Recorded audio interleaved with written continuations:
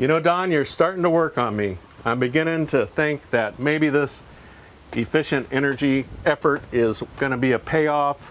And I'm realizing a wall is more than a wall, and a roof has got some more potential than an average roof.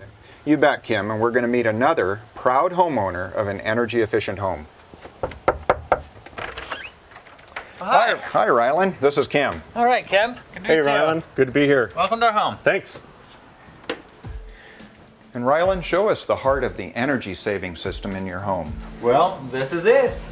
This is an ultra high efficiency hot water heater and it runs the domestic hot water heat and it runs the heat for the house, which consists of two loops. You have thermostats that run the downstairs radiant floor uh, heating loop, so you have potable PEX piping that goes every six inches in a big maze throughout underneath the floor.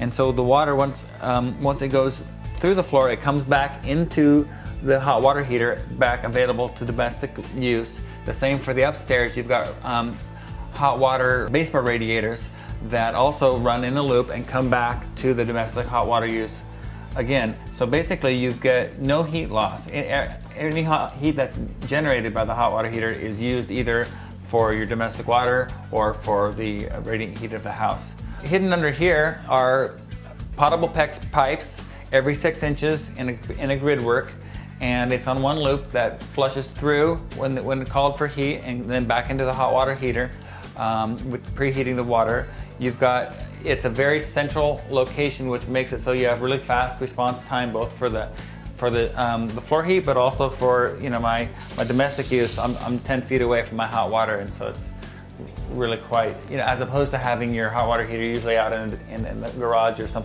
far off place, this allows for kind of a central um, and more efficient use of, of space. In the summertime, we flip the valves and we send the cold water through the floor first. So anytime I'm using either the domestic water or I'm using water outside or the irrigation, it's sending cold water through the floor back into the hot water heater, which is preheating the hot water in the summer, but also sucking 10 to 15 degrees of heat out of the floor in the summer. So it's kind of like a free cooling effect just by virtue of using water that you'd be using anyway.